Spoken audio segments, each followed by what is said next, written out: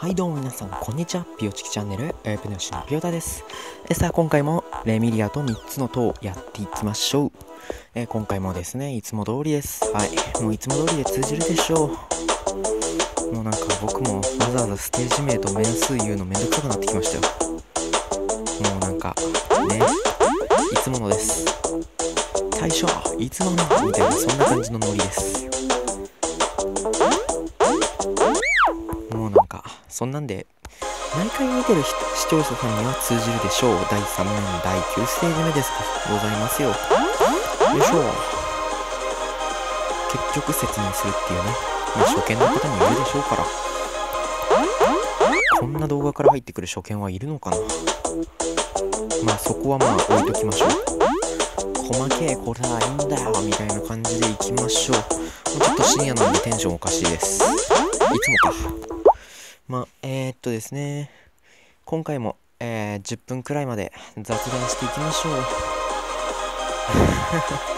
うクリアする気っていうね。ちゃんとがっつりあのプレイ自体は本気でやっておりますよ。でもあのプレイでここのところでジャンプだとか言っていることはもうほぼないですね。しょうがない。ここでジャンプだっつわれたって見てる人からすれば知らんがなって話ですからね。まあ正直自分が楽しむ用のゲームを実況しているって感じではありますので。まあ他のゲームと比べると絵面も地味なんでね。あのー、そこまでなんかこういう面白さがみたいなものってない気がします。僕は大変面白いです。録画外でも結構プレイしております。クリアはしてないですけどこれがその証拠っていうね。悲しいもので。他のえー、もうなんかめんどくさいので失踪したと思われそうなシリーズ的なものも、えー、毎回毎回えー、1週間に1時間程度はやっております。まあ僕は基本的にゲームはログインばっかりしまくるログイン勢でありますのでほぼ全ての入ってるほぼ全てのゲームは毎回毎回起動いたします。まあ今のところ毎日起動しないのなんてポケモン GO ぐらいですかね。昔は流行ったあのアプリ。今はなんだあのアプリみたいな、まあ、もしかしたらなんかアップデートみたいなものがされてきたらね。また人気が出るのかもしれませんけども。あれですよねポケモン GO あのみんなの期待が大きかったから逆にしょんぼりしてるみたいなそんな感じがちょっとしますよね。期待って大きすぎるのもまずい気がします。あそういえばですねあの Twitter のトレンド1位に何でしたっけ？シノアリスとかいうゲームが入ってましたね。新しく、えー、なんかいろんなところがコラボコラボというかいろんなところが共同制作をいたしました。でシノアリスが、えー、今今日の今日というかまあ6月6日ですね。一応まあこれは6月6日の動画なので、6月6日の、えー、っと、午後から配信されたという話ですね。でですね、その詩のアリス、なんか、あのー、始まってしばらく経った後に、メンテナンスの開けるのが未定のメンテナンスに入ったらしいですね。で、えー、一部の人がなんか、一部の人ってまああのネット上の人じゃないですけど僕のリア友の方なんですけどもあのなんかこれは FGO の再来が来るかみたいなそんなことでちょっと騒いでましたね。FGO っていうのはなんだっけフェイトグランドオーダーでしたっけ？それの略称でございます。それが FGO が、えー、それもなんか入った後に、えー、始まった後にですねすごいアクセスが集中してアクセスしたそのメンテナンスがやった後に、えー、ほとんどですねあのメンテナンスの時間が長いことあったっていうことでなんか有名らしいですね。フェイトグランドオーダー。まあ通称 FGO で、えー、シノアリスもそれの末路をたどるかもしれませんっていうことですね、うんその末路って言っても今現在は FGO 自体は人気になってるっていうまあちょっと他このアプリゲームで他のアプリゲームの話するのもなんですけどもねまあしょうがないでですね、えー、っと、そのシノアリスっていうやつですね。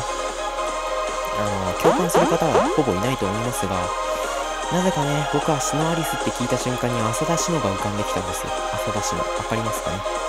えー、SAO のあれです。シノンですね。SAO のシノンちゃんの、えー、本名ですね。浅田シノ。なぜか、そっちが浮かんできましたね。共感する方はいないと思います、あんまり。ま、えー、何が言いたいかっていうと、えー、何も言う気はございません。ただ、そう思ったな、みんなどう思う？みたいな、そんな感じです。ねえ、何も考えてないから。口から出るものが全てですよ。ねえ。さっき地味にいいとこまで行ってたのが悔しいですね。45回。で、えー、っとですね、話は変わりまして、別に何も変わってないか。えー、っとですね、現在、まあ、えー、っと、東方位相決とかね、そういう系のものでも、まあ、募集しております、キャラ。キャラクター募集しております。なんか僕のチャンネルと言ったらっていう感じのキャラクターって言われるとですね、まあやっぱりレミリアさんまたは、えー、アイコンにずっとしている、えー、チェン、ヤクモチェンですね。それと、えー、ゆっくりで隠している、あの、毎回毎回、マイパート、マイパイ、マイ、噛んだ、マイパート、マイパート、え隠している、ルーミア。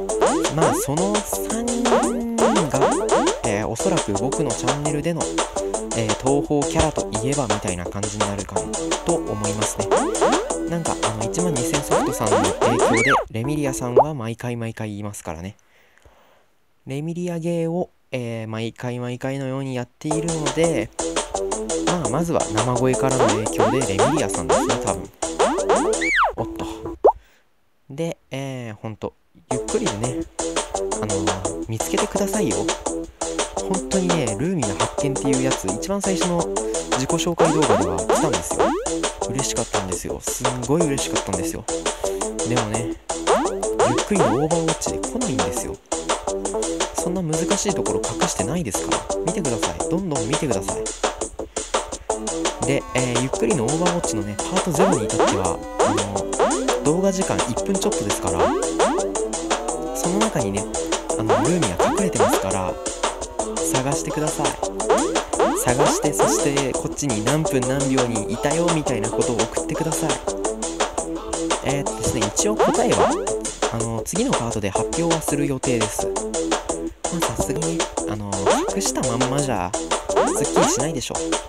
なんか答えがわかるからこそそういう謎となんかクイズ系のものってやってて面白い気がするんですよ。ここかーみたいな。あの答えを見た後にその動画に飛んでみてうわマジかいたわみたいなそんな感じのやつが一番まあそういうクイズ系のね楽しいところだと思いますので、あ次回のパートのところで、えー、答え合わせ。まあ今回のゆっくりの方ではあれですね。あのー、パート0とパート1 D ラ編のパート1の方を、答え合わせの方していきたいと思います。まあ答えの合わせ方は何分何秒みたいな感じでやって画像をパシャみたいな感じでやりたいとは思います。まあなのでね、そんな感じでやるので結構雑です。でもね、あのー、視線誘導をうまく使ってるだけなんで、探せば、探せばね、絶対見つかるはずなんですよ。そこまで、あのーちょっと隠すのを思いついたきっかけはですね、あの、僕がルーミアどっかに入れたいなみたいなことを思ってて、じゃあ隠してみるかっていうことで始まったんですけども、他にね、なんかゆっくりで隠してる人いないかなみたいなことを思ってたんですけど、ゆっくりでは今のところ発見できてないんですけど、あの、登録者がね、10万人を超えてる生声じゃないんですけど、なんて言いましょうか、なんかボーカロイド的なそういう機械音声のね、部類の方で、あの一つありましてそちらの方はちょっとえげつない隠し方してたんでそれと比べるとですねあのだいぶマシなんでまあ別にそれと比べてるわけはございませんけども。なのでねあのー、ぜひ探してみてください。絶対見つかります。もう3回でも4回でも探してみてください。ね。ということでえー、まあラストレミアっすよ。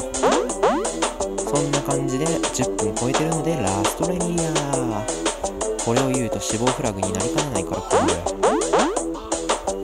まあ死亡フラグにはなりたくないんだけどな。オ